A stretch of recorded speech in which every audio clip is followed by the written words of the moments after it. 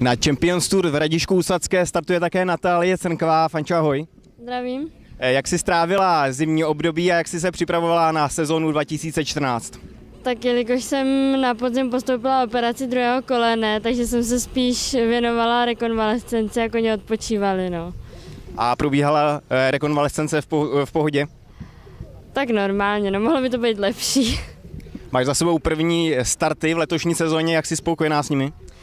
Já jsem nadmíru spokojená, kuň má velice dobrou formu, takže doufám, že mu to vydrží i nadále. Jaké jsou tedy další plány? Dále jedeme pohár Martěnice, opak se uvidí, no. Co by měl být takový vrchol sezony? Budou to eh, mezinárodní závody a nebo mistrovství České republiky?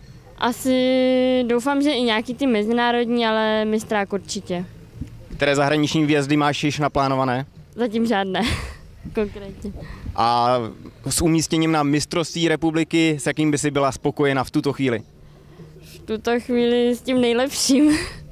A můžeme tedy počítat s, tím startem eh, v klasické seniorské kategorii anebo mezi ženami? To se ještě uvidí asi podle formy.